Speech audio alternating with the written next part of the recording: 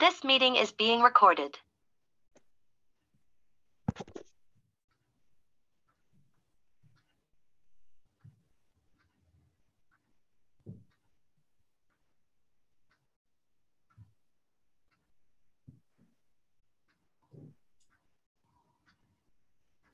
Good evening, everybody, and thank you for joining. Um, I will give you a few minutes to allow for some more people to join.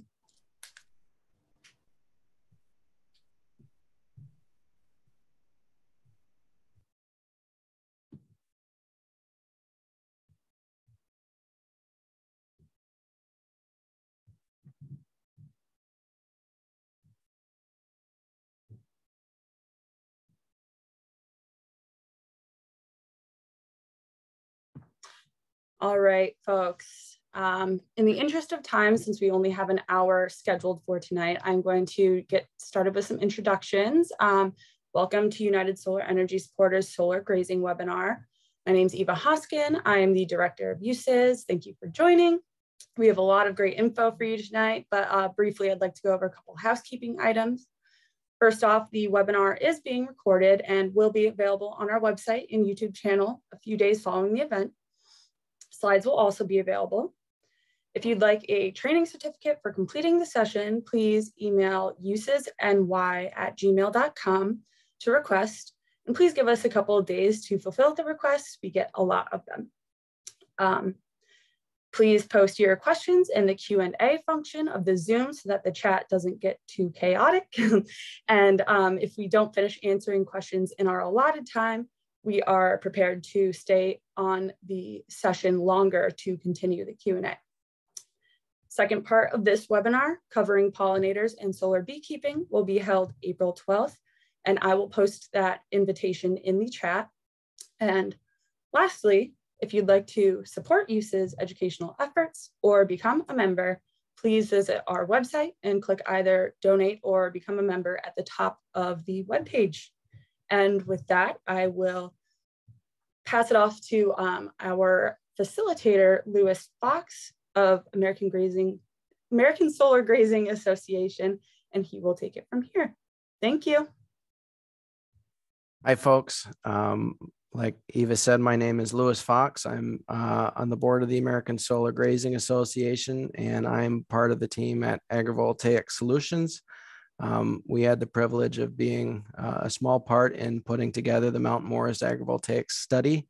Um, we're very excited to um, be able to share that with everybody. And um, we've got a number of panelists uh, that will walk through uh, some of the different parts of the study and, and explain um, what's in that.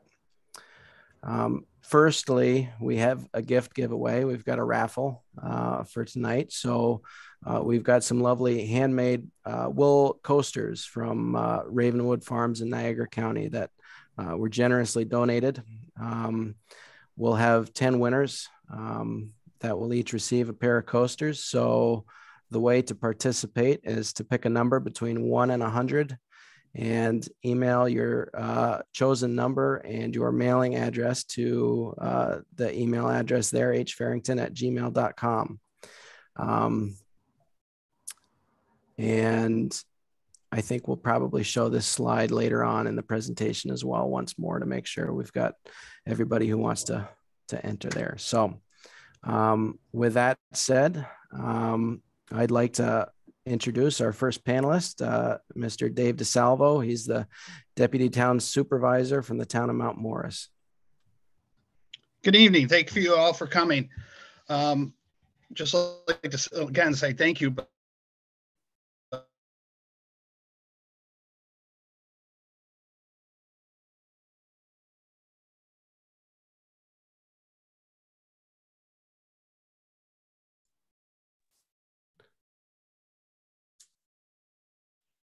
I think we'll give Dave a second here. Yeah, some technical the... difficulties.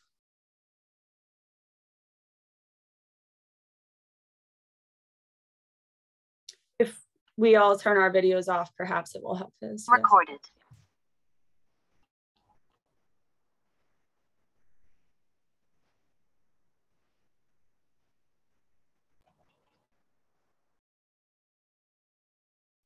Yes. We can see you, Dave. You um, froze for a little bit there, so we turned our cameras off and hopefully uh, we can hear you better this way uh, with less bandwidth being used. If you could repeat what you had just said, I'm so sorry, everyone. oh, now you're you're on mute, I think, Dave. How's that? There you go. Okay. Like I said, I thank everybody for coming. Um, we do have sheep farmers now in the town of Mount Morris. Um, I did, when this all started with the solar, I approached Kevin and said, Kevin, there's got to be something we can do for all these, the sheep and the solar. And this is how this project started at development. Now here we are and hopefully it turns out well for us all. Thank you. Thanks, Dave. Um, next up, we've got uh, Kevin Campbell, who's the Senior Manager of Development at EDF Renewables and is uh, the main force behind the Morris Ridge uh, solar facility. Great, thanks, Lewis. And, and Dave, can you see my slide? Yes. Okay, yes, perfect. Great, thank you. Yeah, so again, thanks Dave and the town of Mount Morris for having the foresight and in initiative to have this study come to life. Uh, my name is Kevin Campbell and I'm Director of Development for EDF Renewables. I've been involved developing solar projects for the past 12 years. Um, what I'd like to do is, is share with you some of the success stories that we've seen with uh, raising sheep around solar panels already. Um, later on, Nicole and Julie are gonna talk about uh, you know some things uh, that may happen in the future in in New York State and go over the study that that they did. Um, but I just wanted to give the picture that these things are already happening. Happening. There's already sheep grazing under solar panels. Uh, for example, in New York State, there's already about a thousand acres of land being used um, to graze with sheep under solar panels. Uh, EDFR has already been grazing on a site called Arnprior near Ottawa, Ontario, on about 200 acres of land. Um, back in 2017, we were approached by a young farming couple, Chris and Lindsay, um, who wanted to grow their flock. They had about 100 sheep at the time, looking to grow to about 500 sheep, but where they lived was um, the land is very expensive and they didn't necessarily want to raise their sheep indoors either. So driving by our facility a number of times, they finally decided to give us a call. And we were happy to try the pilot project and put sheep under the panels. Uh, since then, it's been a great partnership between us and them. Uh, they've been grazing about 300 or more sheep under our panels every year, which takes care of all of our vegetation under the panels. And with the, the sheep they've been grazing under the panels, they've been able to produce meat that they sell to local restaurants and wool to make blankets. And on the slide here, you see there's a virtual site tour, um, a link to a virtual site tour that they prepared uh, with schools and kids asking questions as they're going through the tour. So invite you to, uh, to check out that link at some point. And also, um, before we go into um, the presentations from Julie and Nicole, I just wanted to share the benefits that are possible from bringing solar and farming communities together um, with the hope of having agrivoltaics come into the equation as well. Uh, so first of all, there's benefits for the communities. Uh, for example, the farmers who um, end up leasing their land to developers to host um, solar panels. Uh, this is an opportunity for them to earn a long-term stable revenue on their land um, and giving them the ability to keep the land in their family. And also if they're farming on other land to reinvest that income in other parts of their business. There's also uh, additional revenues possible for communities uh, negotiating pilot and host community agreements can increase the revenues for towns and counties and school districts by more than tenfold when comparing um, to the taxes that are paid on land with agricultural exemptions. So solar projects can pay upwards of $500 per acre per year in additional tax revenues through the pilot and host community agreements. There's also economic benefits. So jobs, for example, um, on a thousand acres of solar, we can create about 200 full-time annual equivalent construction jobs, and that's over a period of maybe one or two years. during operation, there's two or more full-time jobs per thousand acres of land. And that number can more than double if we're going to be hosting sheep or providing other forms of agrivoltaics on the site. There's also benefits to the local economy. Um, the local revenues estimated are about two to three thousand dollars per acre per year uh, with a solar facility on on the land, and those revenues come from uh, landowner payments, pilot host community payments, employee salaries, costs for maintaining vegetation, roads, fences, equipment, etc. And looking at um, the 2017 survey on agriculture in some of the counties in which we're developing across New York State, uh, typical revenues from the farmland itself averages between 500 and $1,500 per year. So, uh, so with solar on, on those properties, um, there's a lot more revenue possible for the local economy. There's also uh, conservation benefits. So for example, the soil, um, developers need to preserve topsoil so the land can be returned to farming at the end of the life of the solar project. And there's very strict guidelines that developers need to follow during construction, operation, and decommissioning. And in a sense, though the solar panels are on the land for you know 20, 30 or more years, this can be seen as a form of farmland conservation because the land can also be returned to farmland and it's also it can also be used for farming while the solar panels are there. There's also the potential for improved stormwater retention and filtration because there's vegetation on the site all year round. And also, as we're going to talk about in this presentation, agrivoltaics is a huge part of, of all of this as well. Um, there's opportunities for grazing around the solar panels, for raising crops around the solar panels, also for hosting pollinators and providing ecological services for the areas around the project. And again, grazing can help improve the soil long-term. Uh, we can increase carbon sequestration and soil health, having the appropriate vegetation growing around the panels. And if we include grazing with that, um, they'll add additional nutrients to the soil as well. Uh, so the last point I have here is around uh, technology. And every year, the efficiency of solar panels gets better and better. And for example, from 2011 to 2019, um, the, the median power density of solar increased by 50%, which means we need to use less and less land every year to make the same amount of energy. And so with that, um, I'll turn it back over to you, Lewis. Thank you for listening. And Thanks very much, Kevin. USES does have something to add to these slides as well. Um, based on what we've been hearing while working on the ground with farmers, we also want to address in some overlapping points here, but um, we want to address the importance of how solar does reduce flooding and stormwater compared to hosting row crops on land. Um, and this is also due to the requirement for solar sites to host native vegetation and meadows year round. Um, and with this reduced pesticide and herbicide use on solar facilities reduces contamination in stormwater. So helping to keep wells and streams clean. And solar also improves habitats for at-risk pollinators, leading to better food production, which will be explored further at our event in April. And I hope that you all saw the invitation to that in the chat. Um, and lastly, that decommissioning plans and regulations are um, do ensure that equipment will be removed at the cost of the solar company at the project end of life, assuring that there will be no cost to the landowner or community. And again, these were just some points that USES wanted to add in um, based off of what we've been hearing in our experience on the ground lately. So you can find more information about this on our Ag Plus Solar webpage um, on our website under the education tab. And thank you very much. And with that, I will once again pass it back to Lewis. Thank you, Eva. Um, our next presenter is Julie Shiflett. Uh, she's the owner of Juniper Economic Consulting, and she'll have more to share on the grazing enterprise budgeting that was done as part of this study.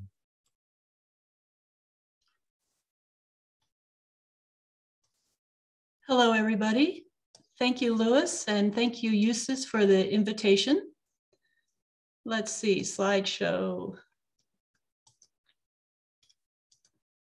Can everybody see my slideshow? Yes, we can, Julie. Yep. All right, thanks again, Lewis. Um, my name is Julie Shiflett, and I'm an independent consultant I have consulted for the American Sheep Industry Association, however, for the past 19 years, and I was very pleased to be part of this project. Let's see, my slides are not advancing. Oh, there we go. Whoops. All right. Thank you again for coming. It's great to be here, co-locating solar and agriculture at the Morris Ridge Solar Energy Center. This project can really transform the sheep industry, solar energy in general, and utility scale in particular. U utilizing sheep and agrivoltaics through solar grazing offers a unique opportunity for the US sheep industry to expand production and also can reverse the course of an industry, the sheep industry that has been contracting. Our agenda today, our objective. My primary objective in the study with my colleagues was to estimate an enterprise budget to determine the profitability of utility scale solar. We will go through the method, existing literature, results, and our conclusion. But first, some background. Let's see. Solar grazing opportunity. A little bit of background first before we get into our uh, study objective. Sheep production in the United States has been in the decline over the past few years. The reasons for this contraction, there are many and varied reasons for the decline in the sheep industry flock. Sheep operator retirements. In general, the average age of a sheep operator is perhaps in the high 60s, and there are fewer and fewer in the younger generations that want to get involved in sheep. Predator concerns, predator concerns, an ongoing concern. Every year, the US sheep industry loses a significant number of sheep and younger lambs to predators, anywhere from coyotes to bears. Labor concerns, also an ongoing concern in the industry um, particularly with the availability and the cost of labor. The H2A guest worker program is very beneficial to the US sheep industry. However, in some Western states in particular, the, the cost and availability of laborers, sheep herders in particular, has been increasing. Lack of markets is also another concern. Um, as the US sheep industry has consolidated, and the lamb packers have gotten larger, processing larger volumes of sheep. Um, some um, local processing facilities have closed down as well as auction markets. So in general, with industry consolidation, there have been fewer marketing opportunities for some producers. Import competition. In general, in the United States, imports have been increasing dramatically over the last 10, 20 years imports primarily from Australia and New Zealand. And um, in general, some of those imports have um, displaced the shrinking availability of domestic lamb. However, opportunities exist. It's not all doom and gloom. Consumer demand for lamb is strong and particularly strong in the last couple years um, during our pandemic. Um, I have not seen a, a, quantitative analysis for a number of years, but anytime you have more lamb being sold at equal or higher prices, it's highly suggestive that lamb demand is expanding. So more, more people are consuming lamb. Um, and the environmental story of going solar and replacing mechanical mowing is critical to this demand story. So I'm very optimistic about lamb demand in the United States. It's been very strong the last couple years, and I, I fully anticipate the strength to continue. So, and also another bright side, even though we see national industry numbers contract, there are pockets of growth. New England has seen some recent growth in flock numbers, Pennsylvania, Great Lakes, Colorado, and the desert states. And we've also seen flock stabilization in the mid-Atlantic states such as North Carolina, as well as Texas, our largest sheep producer. So there are pockets of growth, um, although we've seen some small contractions in the total inventory numbers. To meet this growth, as I mentioned, US imports over half of lamb consumed domestically. Over half of the lamb that we eat domestically comes from Australia and New Zealand. In 10 years, 2011 to 2020, lamb imports jumped 65%. On average, we import over 300 head of lamb each month into United States. So there is a capacity to grow our domestic lamb supplies. Consumers are eating that much lamb. We are consuming, um, excuse me, half of what we consume domestically is being imported. Okay, now to the study objective. We're going to estimate solar grazing profitability from co-locating sheep grazing with utility scale um, solar sites. And what, what we mean by utility scale is a much larger scale. Um, our study in, in, in looks at over a thousand acre site, the Mount Morris study. The method, um, we're gonna estimate our enterprise budgets from primary and secondary data. And we'd like to credit um, our survey of current solar grazers on, on our study team um, US Department of Agriculture market data from lamb markets, um, Livestock Market Information Center out of Denver, and then um, some past work by Agrivoltaic Solutions was instrumental in getting us going, um, some work that they did for EDF renewables, and then also existing solar budgets. So there are a number of secondary studies, existing solar budgets. However, the scale of these studies is relatively small compared to the scale of our study. We'd like to credit the 2021 American Solar Grazing Association study on 25 acres, 2021 North Carolina Cooperative Extension Service study also, and then um, a couple studies out of Cornell, and this one in particular, conducted in 2018 on 22 acres. So there are limited number of existing budgets, and you'll see that the scale of these is relatively small, about 22 to 25 acres, compared to our study, which is a utility scale study at over a thousand acres. Our study team decided to estimate profitability for two different scenarios, two models on this proposed 1,060 acre site. Model A is where the, the sheep producer or grazier purchases lambs for grazing and sale. Lambs are purchased for grazing through the season, and then a portion are sold during the summer, with the remainder sold in the fall. The reason we have the staggered marketing approach is that the pressure on the solar site um, may deplete or reduce the forage quality and quantity. And so you, we recommend a staggered marketing approach where you can relieve some of the pressure on the forage supplies and sell off lambs through the growing season. Lambs will be sourced out of state. We're looking at a significant influx or import of lambs, and we do have those numbers, perhaps not immediately locally in, in New York State, but in the Midwest. Two revenue streams are projected, the grazing income and then also revenue from the lamb sold. The second model, B, is very different. In this case, the grazer grazes own flock of ewes and um, will subcontract out the remaining vegetation removal.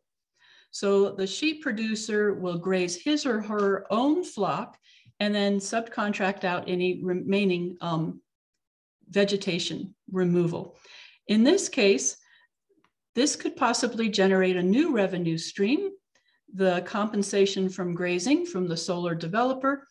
This could help um, interrupt the parasitic life cycle on the sheep producer's own farm, and then also enable the producer to do something else with his his or her own lands, land, such as stockpile forage for winter, while the flock is on the solar site and not on his or her own property. Key assumptions. Please remember with any enterprise budget, you always want to look at the key assumptions and your anybody's assumptions may differ. We had to make a number of assumptions because again, we did not, there is not a lot of enterprise budget uh, literature and definitely not at the utility scale um, size. So again, to re remember, this is over a thousand acre site. For the model in which you graze lambs, we estimate nine lambs per acre. And then the second model, model B, 2.5 ewes per acre. And these are our stocking rate assumptions. In general, stocking rate is the number of animals per the thousand acres.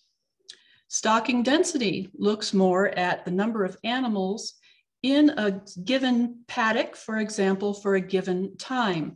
So stocking density looks at more of the concentration of animals over a particular period of time, a given time. We assume that ewes and lambs will rotate from pasture to pasture. And the rotation is up to the grazier. It might be a, a few days, for example, before you move your flock. As lambs gain weight, we assume pressure on the site's pastures will increase.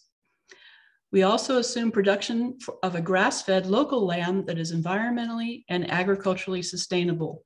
We made the assumption that we will graze hair lambs. Therefore, you will not have wool sales nor pelt sales. Model A, grazing lambs for sale. Just a quick overview. We'll purchase lamb at about 35 pounds. And again, these are just our simplifying assumptions from the Midwest, where they do have sizable flocks um, for grazing in about May. Graze lambs for about five months on the solar site. However, we recommend a staggered marketing approach whereby lambs gain weight and pressure on forage increases and you will sell off some of the lambs. The remainder of the lambs will sell in about October and November at about 80 pounds and you will not winter lambs um, for the remainder of the year. Operating expenses for our Model A, sheep, labor, and other. Um, sheep represented about 72% of our operating expenses, um, particularly purchasing lambs. That's a sizable expense. Labor will require hired labor. It will require labor for our rotational grazing recommendation, moving the flocks from paddock to paddock will be labor intensive, in addition to payroll taxes. Other shipping will be a sizable expense if you're bringing lambs from the Midwest. Fuel and oil, livestock guardian dogs are recommended depending on your predator problem.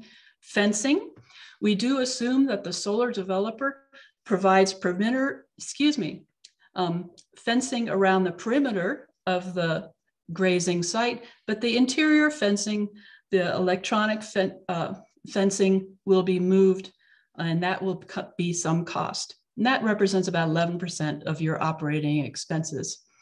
Again, we made a number of simplifying assumptions. I will not go through these line by line, but they are available in the, the report. Um, so all of our estimates in the end of profitability are dependent on our assumptions here. You can see how much we paid for hired labor. You can see how much we compensated the grazier, for example, how much we paid for transport, a lot of different assumptions and um, secondary research and expert opinion went into defining all of these assumptions. Okay, grazing lands will require a considerable investment. We assumed that this is a, a grazer, not necessarily a, already an existing producer. So think of a grazer that's starting from scratch that wants to um, get into solar grazing.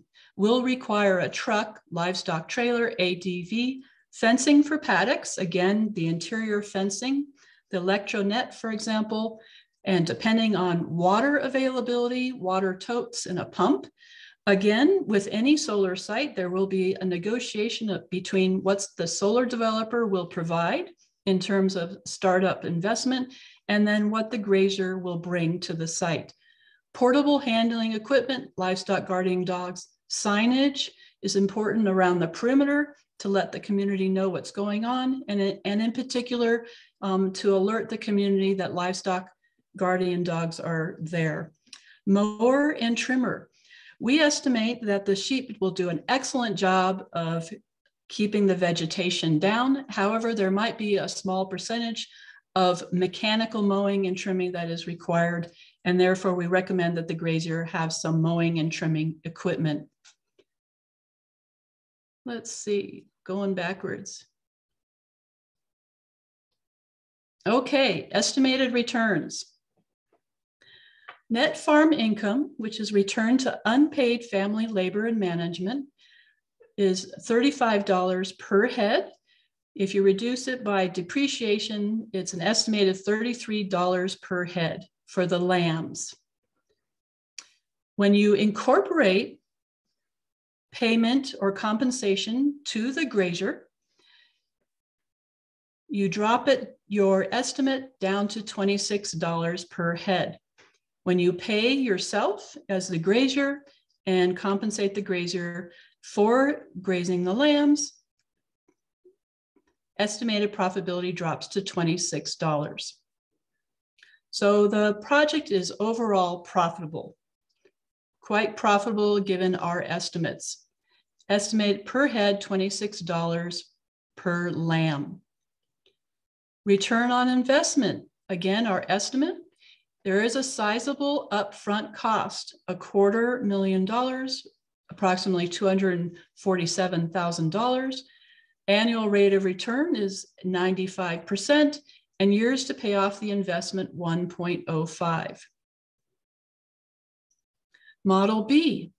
Again, Model B is grazing your own sheep. We're assuming that a producer is grazing his or her own sheep and then subcontracting the remainder vegetable, excuse me, vegetation removal to other grazers. Uh, allows the sheep producer to add a revenue stream, allows the sheep producer to utilize existing home base for hay production or other agricultural activities during the grazing season when his or her flock are at the solar site. So it opens up a possible secondary revenue stream um, at the home base while the flock is on the solar site. By comparison to Model A, grazing own use and subcontracting additional use provides higher estimated returns, primarily because the grazer is not purchasing lambs. The investment is about 20% of Model A, so the upfront costs are considerably lower and also the assumed grazer has lower operating costs because lower cost shipping charges when utilize your own ewes. So we're imagining that a regional producer grazes his or her ewes, which is an older lamb on the site, and um, therefore the shipping is quite lower. However, additional expense is payment to subcontracted graziers. Let's look at some numbers here. Again, we made some simplifying assumptions. Um, please refer to the, the report for our assumptions here. And um, all these estimates are variable depending on our assumptions. Net farm income, 96.44. Profit per acre, profit per acre when you include compensation to the grazier drops to $33.67. So again, healthy returns. Total investment is much lower at 55,000, even though we're assuming that a sheep producer will um, take on the primary contract with a solar developer. There are still some, um, some capital upfront costs that will be required. Annual rate, rate of return is a little bit lower than Model A at 65%, and years to pay off investment, one and a half year. So very similar to um, Model A, except that the returns are um, a little bit higher here and the upfront cost is considerably lower. Conclusions. Solar grazing can introduce thousands of lambs into New York State, a region that is a net importer of lamb. A lamb demand survey, which Nicole will present next, revealed that the regional food service sector already loves American lamb and appreciates the story of locally, sustainably produced lamb. Production of grass-fed local lamb can be environmentally and agriculturally sustainable. Solar grazing lambs offer a viable option for reducing net carbon emissions and combating climate change, thereby justifying agrivoltaics. Last, solar grazing can stimulate local and regional economic development and jobs. As part of our study, we estimated the total number of jobs, which came to six. Uh, total number of jobs is six that can be, can be created by running uh, sheep on this solar site. So there's an important multiplier effect creating jobs in direct and indirect linkages throughout the regional economy. Where to find the study? At the Town of Mount Morris website. And here is the, the link for the study. It is titled, titled Agrivoltaic Study on the Mount Morris homepage. I'd like to thank our study partners, Sean Graspy at the Town of Mount Morris, Kevin at EDF Renewables, Lexi and Lewis from Agrivoltaic Solutions and also our, our sheep producers and grazers. Nicole with Letchworth Gateway Villages and, and um, who conducted the lamb demand study, Mary Kate, who did the beekeeping and was a valuable resource in editing, and then Nick, our project manager, and Rochelle, also our project manager with uh, Compass Energy. Thank you all for participating. I was really excited to be part of this study and I, for a, a long time, um, sheep economist, for a lack of a better word, it's very exciting to see this kind of demand potential for the industry. And I, I firmly believe that this can turn the, the industry around for lamb because more and more people are, are loving and enjoying lamb. Thank you very much. Thank you very much, Julie. That was tremendous. Um, I think I, I really enjoyed uh, learning all of that and, and hearing that presented. And um, I think everybody else did too. Um, our next panelist is Nicole Manapol. She's the director of Letchworth Gateway Villages, and she will be presenting on uh, the marketing analysis. Thank you, Lewis, and thank you, Julie. Um, that was a great setup for this segment. Um, with you know the time that we have remaining, I, I won't go into a lot of detail. Um, I really encourage folks to go to the link that Julie um, showed, and I think that uh, Ava has put into the chat to read more about the study. But essentially, as Lewis was saying, and Julie, um, my name is Nicole Manapol. I'm the director of Letchworth Gateway Villages. Uh, this is a municipal collaboration that uh, the town of Mount Morris actually helped found it uh, a, a, few years ago. And we are a municipal alliance that is committed to advancing rural development in the Genesee Valley region. And we do this through a number of activities, including network building, technical assistance, and research and why we got brought into this um, for the last few years, we've really been looking at the potential of the sustainable tourism and outdoor recreation economy in this area. And a core part of that is uh, food and you know our strengths as an agricultural region. And so in 2019, we actually did a food tourism assessment that looked at you know the potential of doing more kind of farm to table um, uh, types of restaurants and uh, food tourism in the region. And there's certainly a growing demand for that. And so lamb, uh, solar raised lamb really fits into that, that picture. Um, and so what we really wanted to look at with this is, you know, this understanding that you know, the success of solar grazing really depends on creating a strong market for lamb and um, other products that would be generated from solar grazing. So in a few weeks, we're going to be talking about the, um, the beekeeping um, uh, piece of all of this. Um, but we really wanted to better understand um, the barriers to market penetration for New York Solar Raised Lamb. Um, and for this reason, we were contracted to look at uh, local demand using our resources and, and our networks. Um, I'm just going to share my screen and turn my video off. So hopefully we can preserve some bandwidth.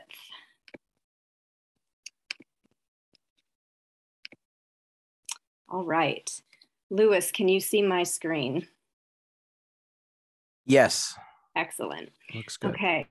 So this first slide here is, um, you know, kind of the, the big picture view. Um, and so the, the research that we conducted was both looking at kind of what the market looked like for the US as a whole.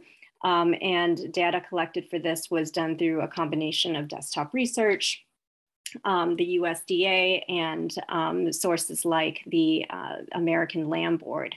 And as Julie was saying, what, you know, the, the big story here, there's a lot of data on here, but you know, lamb consumption is is growing in the United States. Uh, right now, most of the lamb that we consume is coming from Australia and New Zealand. Um, and again, if we start thinking about carbon emissions and um, you know how uh, shipping and so forth is is impacting the environment um, and carbon, um, you know, thinking about a locally raised source, um, even if it is more expensive, is is something certainly we should be considering there are three main lamb markets. So, um, you know, the largest market is kind of your mainstream food service and retail. Um, the second and uh, second largest market that we're going to be talking a little bit more on um, is the ethnic food service and retail. This has huge potential in New York State um, uh, for a number of reasons that I'll get into in just a little bit.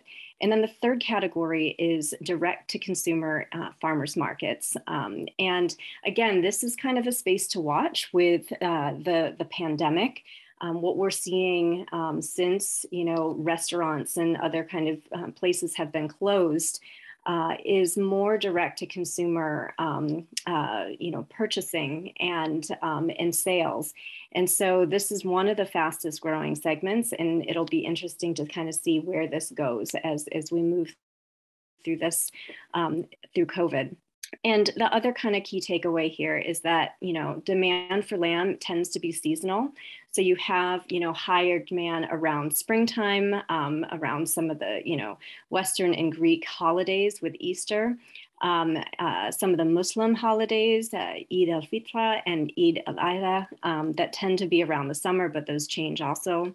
Um, and then December holidays, you know, um, our typical, um, you know, Christmas, uh, and other um, holidays in the winter. So the, also another piece of good news is that uh, you know one of the strongest markets for lamb is the Northeast and New York City, and this has historically been you know kind of where the strongest demand for lamb exists in the U.S. Um, again, a lot of data on here, but the key takeaway is that um, you know we're really in a good position being in New York State with our proximity to New York City um, and also with with Toronto um, and other you know kind of major metropolitan areas within a five hour radius from where we are um, for uh, raising more lamb. Finally, um, you know our our demand here in um, our local area. So we did two kind of surveys. So one was a local um, restaurant survey. We looked at 62 restaurants, um, distributors, and retailers. Uh, in our region. So this included the Genesee Valley, but also um, places in Rochester, in the nearby Finger Lakes. Um, we've got about a 34% response rate. Um, which wasn't bad, but obviously, you know, I think more, um, you know, research and data would be good uh, as you move forward. And the main respondents tended to be chefs and, and, you know, people who were in the food, um, you know, kind of restaurant industry. And um, we surveyed a number of different types of restaurants, so including ethnic, fine dining, farm to table, and delis. And again, um, the overall picture here is really positive. So, you know, um, I was surprised at how many um, restaurants already serve lamb and serve it year round. So, you're looking at 93% of the restaurants we surveyed um, have lamb on their menu, and 73% serve lamb year all, all year round. Um, 47% reported increased sales within the past five years, which again aligns with some of that other data that I was showing you earlier about just the, the you know general trend for for lamb in our in our market. Um, 67% responded that their customers care where their lamb is sourced. So this was a huge um, kind of finding, and and some of the research that we had was that. Um, you know, people really care about where their food is coming from. Um, and I think that's really increased again since the pandemic when, um, you know, people were really struggling to source their meat. Um, and so it really provided an opportunity to create closer ties with local producers. I, I certainly know anecdotally from, you know, farmers that, um, you know, are in my network here, their sales uh, increased during the pandemic. And then the um, 53% um, purchase US over local, um, would purchase US uh, or local lamb over an imported product if given the opportunity.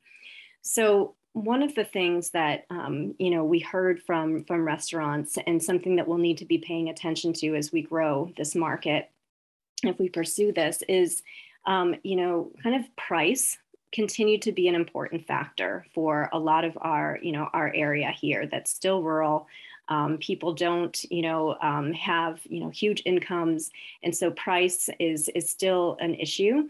Um, consistency both in availability and product um, was something else that uh, the um, survey respondents cited as being important um, but overall, you know, they were interested in, you know, continuing to be uh, linked into this um, and interested in, you know, kind of seeing where this goes and would be interested in buying it if this, this type of land, land became available.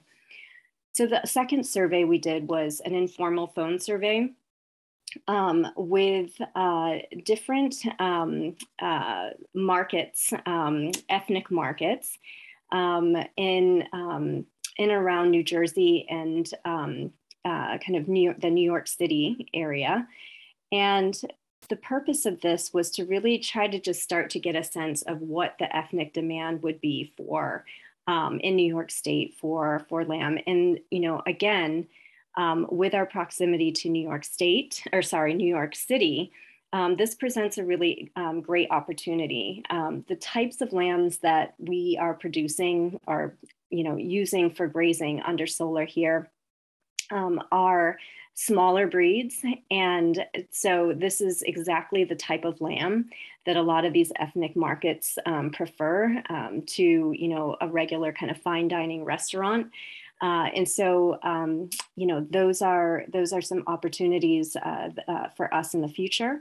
And I think that, um, you know, again, um, there seems to be, you know, less barriers to entry uh, for, you know, taking lambs to the ethnic markets. One of the, the second largest um, is in New Holland, uh, Pennsylvania. Uh, the largest is in San An- Angelo, Texas. Um, so we really do have an opportunity um, with our proximity to New York City in those markets to be looking at um, how we service uh, the ethnic food market. So one of the barriers that we've seen um, is regional processing capacity. And again, we didn't do a thorough investigation of um, this aspect, but again, anecdotally talking to producers, um, this was um, a concern um, if we were act- we're going to ramp up the um, kind of production of, of lamb in our area. We'd need to have we'd need to also increase regional processing capacity. But this, interestingly, is not an issue when we're talking about, um, you know, selling it live, kind of auctions and ethnic markets. So again, something to consider as as we go forward. Um, and just to kind of sum everything up, you know, I think with, um, you know, the Finger Lakes wine region becoming more and more of a, a food destination, um, we're seeing, uh, you know, uh, changes in both the Buffalo and Rochester markets, our proximity to Toronto, New York City, um, and other metropolitan areas really sets us up for um, some opportunities to, you know, lead in the space going forward. Um, so with that, um, I'm going to pass it back to, to Lewis um, and hopefully leave some, some time for questions. But again, I really urge anyone who's interested in really digging into the, to the data to read the study. Um, and of course, uh, we can be contacted uh, through AVA and others if you have questions um, on uh, especially the local demand that we were we were researching. Thank you. Thank you, Nicole. That was a great presentation. Um, now uh, we are going to look at moving on to question and answer time. Um, everybody is going to have the opportunity to put questions down in the Q&A box.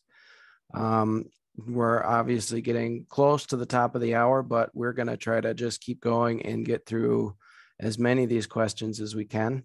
Um, looks like we've got about 24 right now. So I'm going to um, start at the top and, and throw a question out. Um, and the first one is from Nigel. And it is typically how much would the landowner charge the sheep farmer for grazing rights on the solar farm? Um, and I don't know who wants to take that first one. I would say maybe Julie or Kevin. Yeah, sure. I can I can start with this answer. Um, yeah, I think there's really going to be some price discovery in this in this domain. Um, I think we've seen, you know, Lewis, correct me if I'm wrong, but price is around 300 to 500 dollars per acre on some smaller sites, and the price discovery is going to happen as we start to see larger and larger facilities across um, the Northeast. You know, this this facility here, Morris Ridge, is a thousand acres, and will that drive economies of scale and a lower price?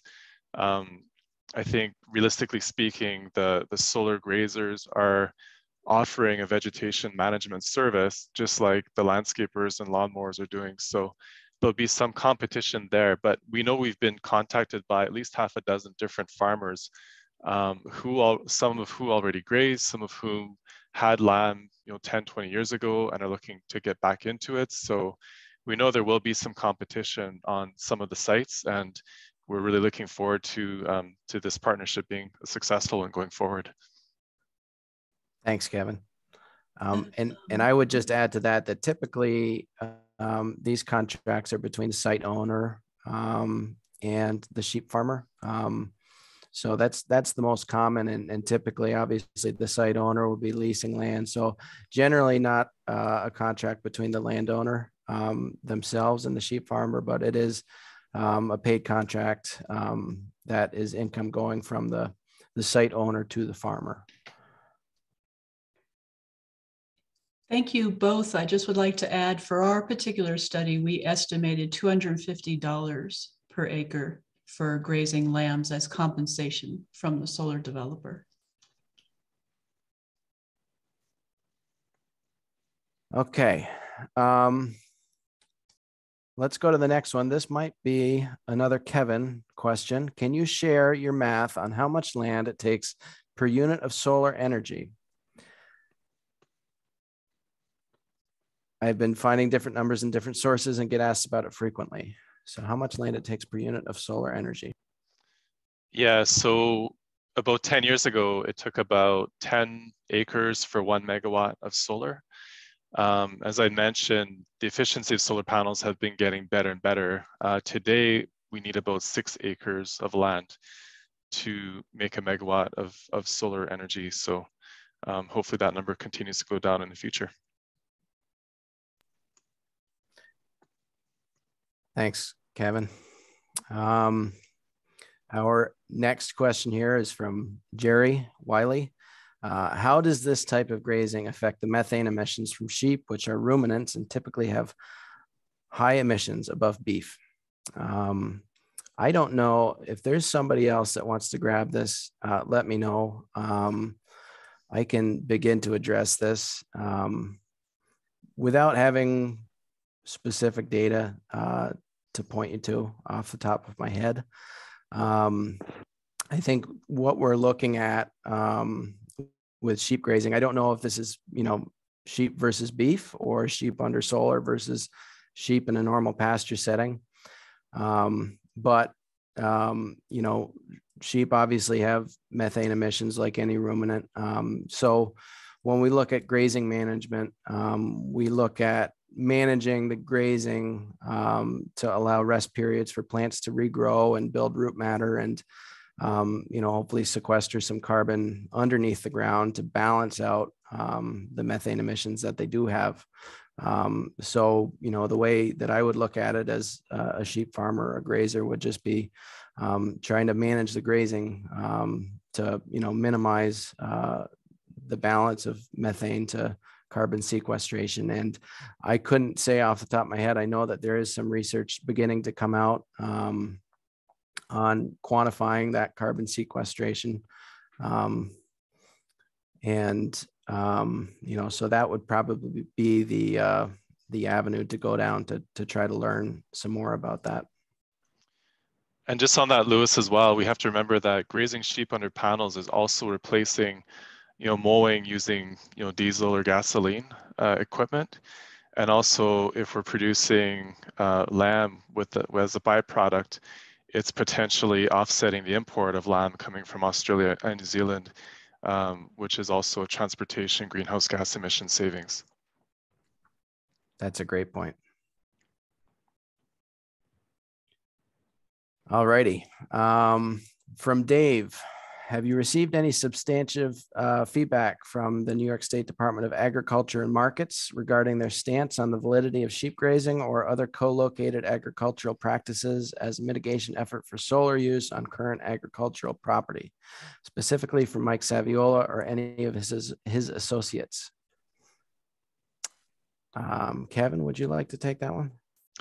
Yeah, personally, I haven't received any um, recent feedback but we know that there are some out there who see solar grazing as maybe not being an intensive use of the land. Um, however, I think we have to remember that there's a lot of land across New York, uh, not New York State, but across the United States that's used to produce fuel. And, and solar also produces fuel in electricity format versus a biofuel format. And it's a very efficient way to use land for fuel.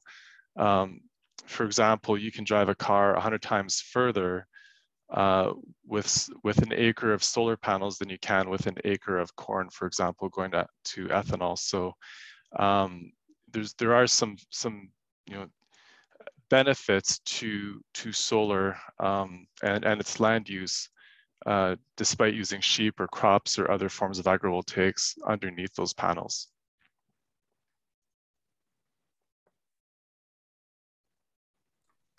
And I think we're going to go over right now to uh, Eva that may have some results from the raffle. Yeah, folks. So um, it is 7 p.m. ish, and um, that is the official end time for this webinar. Um, so I'd like to announce the giveaway winners. But first, I do want to reiterate that we will continue with Q&A um, for the next 30 minutes or so, since there are still a lot of questions remaining. Um, we are prepared for that. And um, for, without further ado, here's the giveaway winners. And I am so, so terribly sorry if I pronounce any names incorrectly. Um, the winners are James McCall, Gary or Jerry Wiley, um, Jen Crawford, Vincent Petruzolo, Mary Wyland, Ralph Hoffman, Jerry Guinea, Chris Carrick, Nikki Sorrento, and Mark Petrowski. So this um, number that we were all trying to reach was 38, and it was chosen by one of USE's technical advisors, Haley Farrington, who is the person that you were all emailing. So um, if I read off your name, you will be receiving a um, set of coasters in the mail in the very near future. So thank you guys so much for participating and also being here. And I will pass it back to Lewis for the rest of the Q&A. Thank you, Eva. And congratulations to the winners. Um, the next question, uh, I think this has been answered, this one from Nigel. Um, I think we'll skip down to Dave DeYoung. Have you explored any other methods for agricultural mitigation on solar sites other than just sheep grazing? Are there any other products or methods that can be co-located? Have you received any input from NYSDAM regarding these products? Um, I can answer some of this, um, and then I'll let anybody else who wants to take up um, an ad.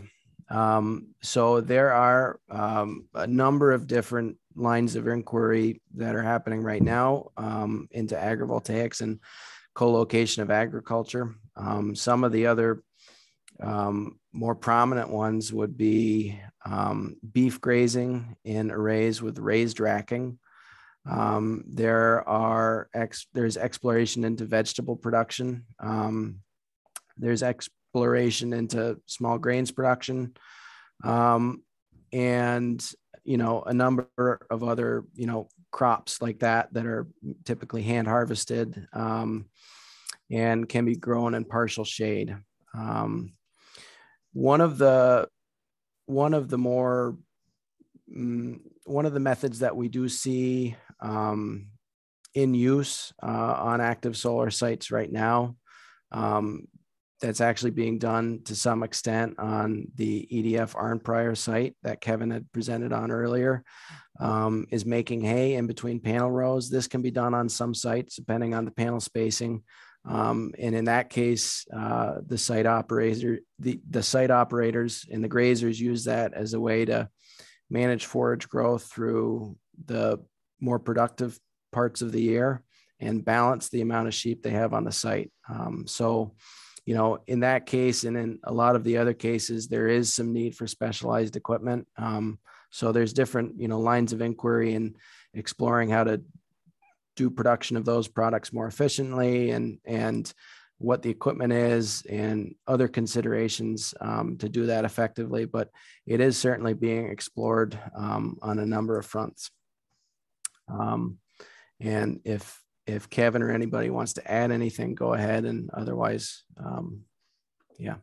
Yeah, I guess just quickly, one of the other benefits of of putting crop under solar panels or vegetation under solar panels um, we did a pilot in France with alfalfa, for example, and and the amount of yield we got under solar panels compared to the test plot um, was lower earlier in the season, but as the summer and fall came around, um, the alfalfa outperformed the test plot because it was partially shaded. There was less evaporation and better water retention under the solar panels. So it just allowed for, I guess, a more sustainable crop of alfalfa longer in the season.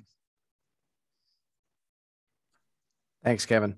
Um, this next one might be going to you as well. Have you explored land trust mitigation bank and credit purchases for agricultural mitigation for solar sites? Yeah, no, we haven't. Um, yeah, we have not investigated that. Um, however, I, I, I, feel like solar is a way to conserve farmland long term by putting panels on top of it.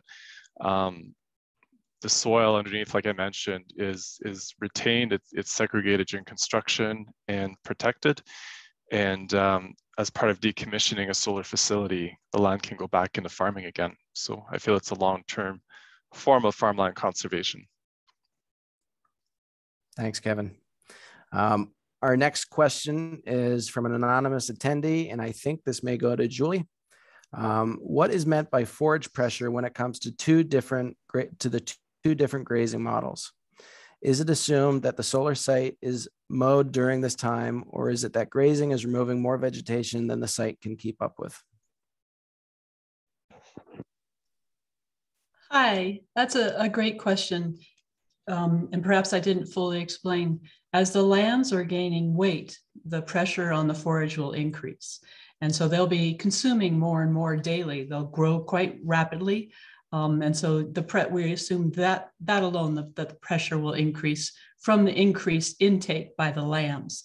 Um, we do assume that the areas, the paddocks will be mowed down and we will be rotating from um, paddock to paddock, which is a smaller unit of area.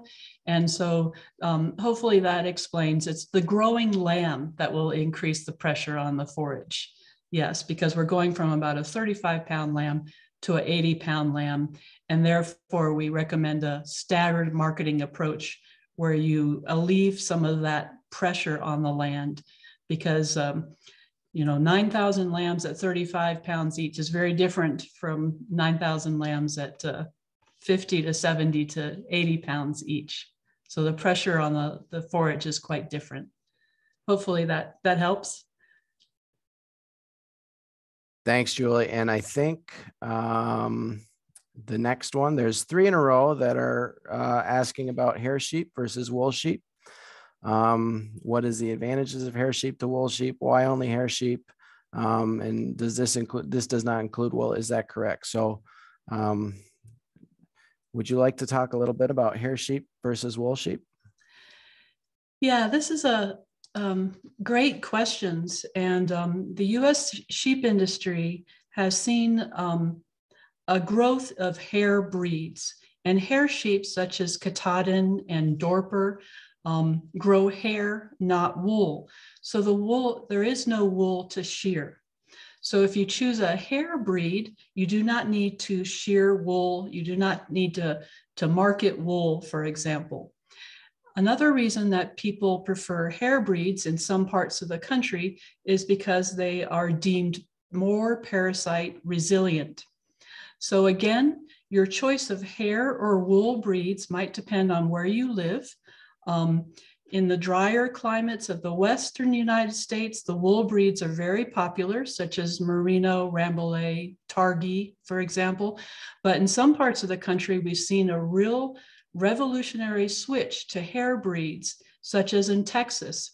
In, in Texas and West Texas, we used to have predominantly wool breeds, and now those are switching predominantly to hair breeds. In general, the hair breeds are a smaller animal and they mature at much lighter weight than the wool breeds. In my experience, um, hair breeds have been popular in um, New York State in the area. They're easy care. You don't need to worry about um, the wool. Um, you may not need to worry as much about parasites. So they've been a popular choice.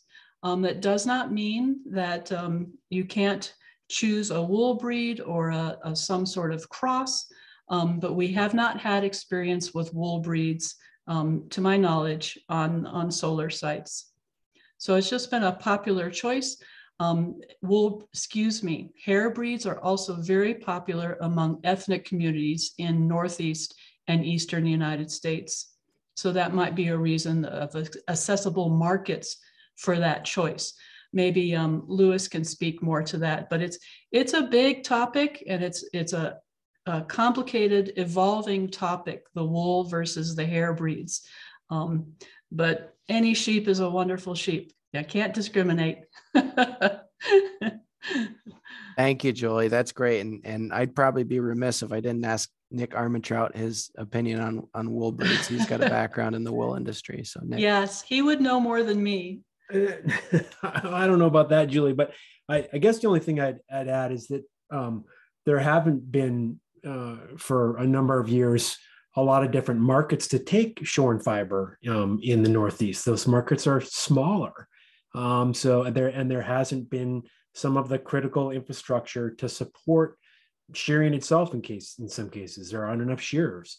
Um, uh, let alone places in a smaller scale to scour wool and to add various you know converted processing to make finished products. However there has been in the past and there can be again in the future. Um, and there there is a hope that where uh, solar grazing is an opportunity for uh, the sheep industry as a whole, there may be an opportunity as well um, for wool sheep and and wool fiber um, because it's a just as timely a time to think of um, the positive regenerative, regenerative fiber that can come from solar as well as the food. So there's a lot of hope about it, and uh, American Sheep Industry is working on it as well as all kinds of different fiber sheds and sheep producers here in the Northeast hoping to affect a change and start to produce more wool and be able to process our own wool here in the Northeast. So if you know investors, have them send some questions because we need the help. I love that you brought that up, Nick. Um, that was something that we we got to talk a little bit about in the research. Um, was you know as New York State is pushing some of these um, different you know climate agendas, but um, building materials, and I had actually had a conversation with some developers who were using wool as insulation um, in in building. So you know I I love that you brought that up. That you know we should be thinking about all parts of, of the lamb as we think about, you know, the climate agenda in New York. Thank you, everybody, for weighing in on that. Um, the next question is from Michelle. Um, I think I can take this one. Uh, the question is Is there a minimum ground clearance so the sheep can graze under the panels? Uh, does the site need to be fenced? I'm trying to limit fencing of solar sites so wild animals can continue to move through these areas normally. Um, the short answer to the first question is no. I wouldn't say there's a minimum ground clearance. Um, typically, you know, grazing and everything else works a little bit better with a little bit of a higher mounted panel. Um, but we do in our grazing business, you know, manage uh, some some very very short sites. Um, so um, it does not necessarily necessarily preclude uh, sheep grazing. Um, and on the second question, does the site need to be fenced? Um, the answer is yes, and and that's because um, federal energy code mandates that they have to be fenced. Um, and certainly, when we're thinking about sheep grazing, we really have to keep in mind predator pressure. Um, you know, a lot of things like to eat sheep. Um, so, secure site fencing is very important to the safety of the sheep. Um, and generally, one of the reasons that sheep work very well on solar sites is because they do have secure fencing. So, um, those things kind of go hand in hand there. But I will say anecdotally, um, we manage a lot of different solar sites. We see we see a lot of different wildlife on solar sites that that will get in um, regardless of the fence. We've got um, we we see a lot of foxes nesting on on solar sites. Um, you know, usually a lot of ground nesting birds, um, birds making nests in the panels a lot of rodents, you know, what have you. So we do see we do see a lot of that activity. I can say anecdotally. Um, question about the solar grazing compensation of $250 an acre. Is this competitive with the cost of mowing? Could you speak to the incentive for the solar developer operator to choose grazing over mowing and the implications for grazer profitability? Um, I can answer this to some extent, and then I don't know if Kevin has some comments too, but um, um, you know, on the solar grazing compensation of $250 an acre, there's, you know, a limited amount of data points for this. Um, we have some, um, myself, we do graze, you know, quite a few solar sites. Um, we know through the American Solar Grazing Association, a good amount of people, you know, grazing solar sites and across the country. Cornell has done some work on this in their survey. Uh, they've done of that. So taking all of that together, um, you know, typically the smaller sites that we graze now in New York have a little bit of a higher rate per acre. Um, but you know, we've we've felt that you know for a number of reasons, being competitive with mowing, um, which we do have to be, um, you know, bringing this down to around the $250 an acre mark is more realistic. Um, as Kevin said, you know, this is something that's going to have to have price discovery when when these sites actually start getting built in New York. Um, but for other parts of the country, I think this tracks pretty well. Um, and maybe Kevin, do you want to speak to the incentive from the solar developer angle? Yeah, so the, the sites that we are doing in Ontario, uh, it's actually more cost effective to hire farmers to graze sheep under the panels to maintain our vegetation than it is to pay a landscaping mowing company. And I know, I think the market dynamics are a little bit different in Ontario than they are in New York State. And again, we just have to go through some price discovery. And for example, um, you know, do we need to mow one time, two times, three times per year? So the amount of times we need to mow per year, um, you know, that that makes a difference. Um, but also, if we're going to be using a lot of farmland in New York State to site solar panels, um, finding ways to incorporate farming in, into the, those solar areas, um, I think will be important going forward. Um, and the other thing too, as mentioned before, is there's also a lower bar to entry for new farmers um, to do solar grazing versus um, versus grazing maybe their own land that they have to rent or buy. Uh, in this case, we're paying them to graze, so so that really helps with their economics um, to to get started. Thanks, Kevin. Um, the next question uh, from Dave DeYoung is Has the Office of Renewable Energy Siting provided any input on what production methods are approved forms of agricultural mitigation for utility scale solar sites? Is sheep grazing acceptable? Are pollinator plantings acceptable? Um, I think we've still kind of yet to see this bear out. Um, I don't know, Kevin, if you've got any more input there. Yeah, I think when we talk about agrivoltaics, um, just having pollinator plantings and, and pollinators on site isn't seen as being enough. Um, so it really has to get into you know grazing or having crops or, or different things like that on, on site to really um, make a difference and be able to call your site agrivoltaic. Thanks, Kevin. Um, the next question from Ron is, uh, since the sheep grazing is so profitable, can't the solar development companies invest in them and help kickstart the business? Um, I'd welcome anybody that wants to take a swing at this. I can um, say from my perspective, um, what we know is that we we there are some developers um, kind of in that conversation in the U.S. now. There's some you know operations and maintenance firms that have also looked at um, owning their own flocks and managing uh, their own sites that way. Um, so this is something that that is being done to some extent.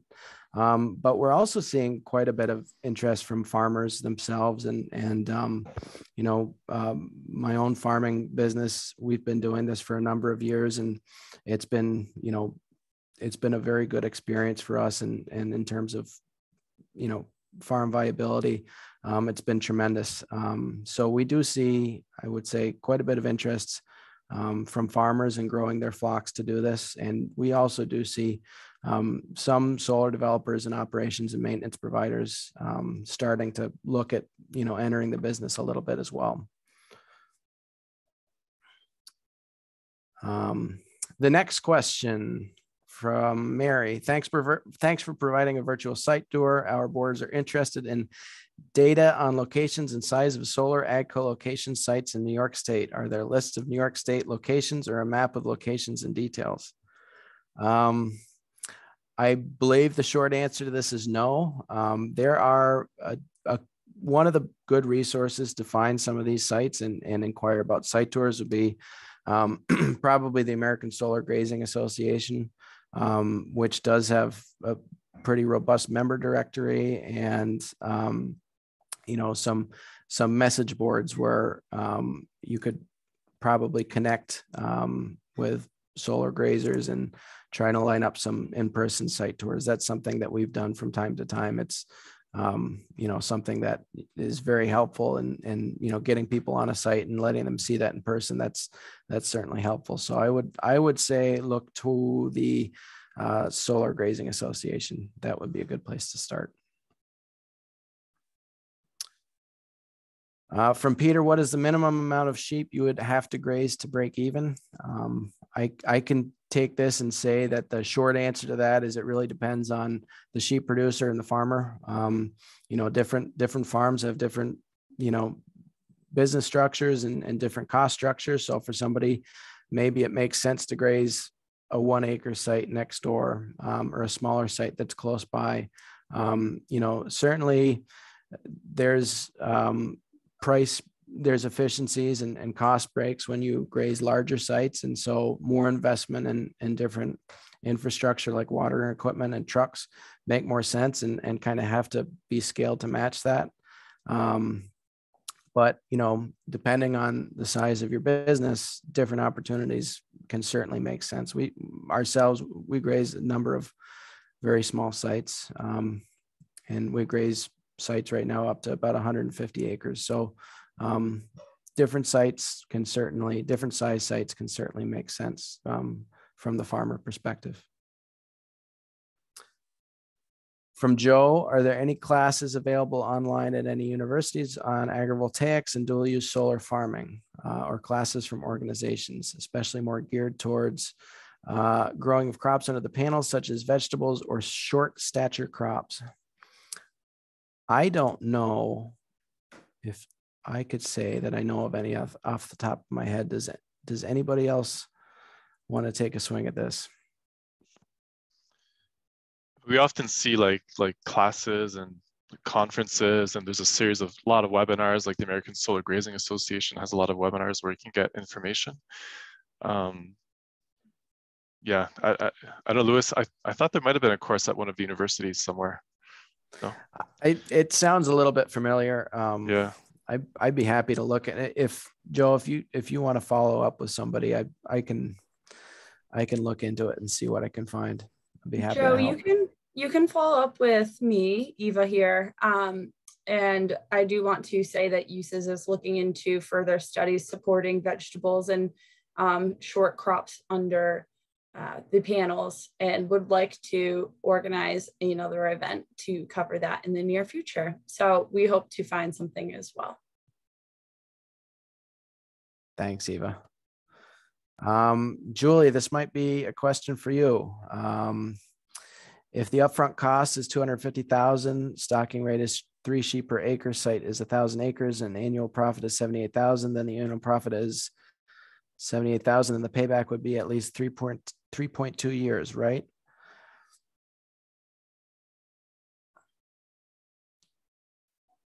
Hi, yes, um, I'd, I'd have to defer to the original study. Um, I think that the payoff was less than that, about a, um, a year or so. Um, I'll have to look at the numbers again, kind of got me off guard, but I, I think that the return is higher and the payoff lower than your, what you suggested. I'm actually, and I'm seeing, I think this might have been answered in the chat. I think there might have been a mix up between the two different scenarios. Okay, so, okay. yeah. Yes, um, I understand that my presentation was, was very brief. I encourage you all- all to go look at the original study and particularly look at the assumptions that we made. It is a utility scale site. It's unlike um, anything we've seen in previous literature. So there are a lot of assumptions and it's a, it's a much larger scale than we're, we're used to. But um, it, it might be very much the future of solar grazing. So thank you for your interest and, and please um, look up the original report. Thanks, Julie. Um, the next question is from Jennifer. Uh, is the electronet fencing tapped off at the solar at all? Would one want to provide some extra receptacles at the combiner boxes? What kind of power specs do these fences use? Um, I can I can speak to this a little bit. Um, there are solar fencers that are you know self-contained solar powered fence chargers. Um, there are also solar. Or there are also fence chargers that um, are just 110 plug-in chargers. Um, some sites that we see do have some auxiliary power available at the combiner boxes. Um, that's something that's you know certainly very helpful for for grazers. Um, what kind of power specs do these fences use? Um, I couldn't tell you off the top of my head. I don't know if anybody else here can either, but if if you can, let me know. Um, but I think it's something you could look up pretty easily. It's not much. It's uh, it's certainly not much. Um, Dave DeYoung, can you elaborate on what the actual opportunity for sheep grazing uh, slash agrivoltaics is? If a large utility scale site is not available in a sheep farmer's area, what are their options? Do they graze several small sites? That would add trucking costs to move sheep from site to site or travel between sites for monitoring animal care. How many thousand acre sites are actually available for sheep grazing? Um, I can take a swing at this as well. Um, it's you know certainly true that in New York at this point, you know typically the bread and butter of people who are grazing solar sites is, is smaller sites, community scale sites. Um, our business that's that's what we do. We graze uh, sites that are generally anywhere from you know 10 to 50 acres, um, and and you know this year we're looking at somewhere between six and 700 acres broken up on you know a lot of those very small sites so that's right now in new york it's what's built um, and you know i think a lot of people have their eye on on utility scale sites um, the economics are different. Um, the logistics are different. It's you know a little bit of a different business. Um, you know but in other parts of the country there are people you know grazing sites of you know that thousand acre size um, and doing it quite effectively. You know we see that in the northeast and in the midwest you know southeast and in the west. So environments that are you know anywhere from very very dry desert uh, environments where you're grazing for more fire prevention um, to you know the southeast where you've got extreme vegetation growth and and so you know sheep are pretty sheep are pretty you know adaptable to different situations and you know different management techniques so um, hopefully that and Lewis, the that. second yeah. part of that question, if we look at New York State alone, you know, we're just going to start to see now larger and larger sites of the thousand acre type start to um, start construction and start to be operational maybe in the next two to three years across New York State. And you know, it's not inconceivable that in the next five years there could be a dozen or more large sites like that across New York State. And I, I know that they're also propping up in different um, states around the country. Thanks, Kevin. Um, there's two questions in a row that might be good uh, for Nicole. Um, the first one is, are you seeing any product price increases for solar lamb or is the market too new? Um, and the second one, is there a point of lamb market saturation in New York? Yeah, so the, for the first one, I think it's, and this really came out more, um, I would say, in the bee um, portion, in the honey production portion of our of our research. Um, people really have no idea what you know it means for something to be solar raised. Um, and so right now, I mean, at least in you know the work that we did, we didn't see any um, you know difference. But absolutely, when you know you kind of look at um, the way that organic has been marketed and you know other types of products that there's certainly a potential for it. And that you know was in recommendations for you know continuing research um, to look at you know the potential of that. Because um, you know in the future when there is more knowledge and there is more education and awareness around this um, i think that there certainly could be be opportunity there um, I forgot what was the second question about lamb penetration. Yeah, the second one um, would be, you know, is there a point of ma- market saturation for lamb in New York? And and you know, I don't know if you could la- answer that from the the processed lamb standpoint, or um... I'll. I might have to pull Julian to this one. She has a much more global understanding of um, the market for lamb um, and what that that could potentially be. Thank you, Nicole. Um, Nicole mentioned earlier in her presentation that we conducted an informal survey of ethnic buyers in the area. And um, it was just a, a, very small sample, but um, several buyers asked me right away, do you have lambs available now? When are they available? I want them now. So I was really encouraged that no, the, the market is not saturated and um, lamb demand is very strong, particularly among ethnic buyers. They are shipping lambs from Texas up to New York State, um, from the Southeast up to New York State. Lambs are a hot commodity.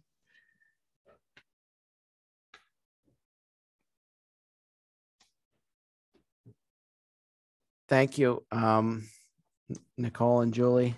Um, there's a question from Todd. Uh, what retrofits are required to the PV facility to protect both the livestock and the equipment?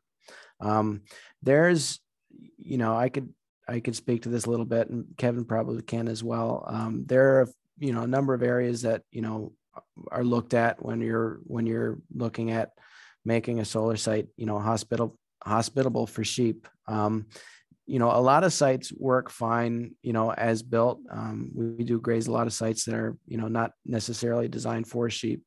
Um, you know, there are some considerations of areas to exclude the sheep from, you know, and uh, around some electrical equipment, um, but generally not from a damage perspective necessarily, more of a cleanliness perspective. And, and, you know, typically sheep don't have chewing behavior or are not too inquisitive, you know, whereas something, like uh, a, a, goat might be. Um, so sheep are pretty well um, behaved um, and their behavior fits in pretty well with, with solar facilities.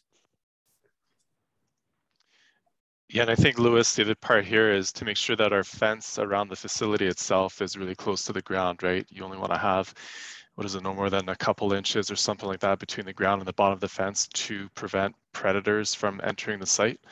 So that's maybe one of the more important considerations when it comes to protecting that livestock. That's absolutely right. Um, this might be Nicole as well. Uh, are there any list of stores that sell local raised lamb? So some of the um, you know, uh, distributors that we um, interviewed for the survey, like Palmer's, um, McCann's Meats, um, do carry um, locally raised meats, um, but I don't have a list right off the the top of my head. And um, you know, I know that you know one of the the retailers we had hoped to connect with, Wegmans. we did not get a response, but um, uh, yeah, hopefully that um, it will become more and more and more common. Great, thank you, Nicole. Um, and I think we're at 7:30. Um, I think we're going to have to wrap up here um, in the interest of time, but um, appreciate all the panelists that have. Yep, go ahead, Julie. Sorry, Lewis. If I just I'd like to add, uh, just in conclusion, that the American Lamb Board is a tremendous resource for finding domestic lamb, finding recipes for domestic lamb, and I believe also processors. And they might even have um, some some lists of, of potential food service vendors and retailers. I don't recall, but don't forget the American Lamb Board is funded by your checkoff dollars, and it has tremendous amount of resources available online. Thank you. Thanks, Julie. Um, I believe if there's, you know, follow up or, or additional questions, um, you can reach out to uh, Eva at uh, USES. Absolutely. Um, if you have any further questions, uh, please email usisny at gmail.com or eva at usisusa.org. And um, questions that have already been posted will be recorded and we will be able to take them down, put them in a Word document, and we'll be able to blast the answers out to all of you. So if you already asked your question, we can address it. And then if you have any further ones, please send them to me. Um, thank you so much for joining us tonight and um, have a great rest of your evening. Thank you, folks. Thank you. Thank you, everybody. Yeah, thank you. Great job, Lewis. Thank you. Thank you.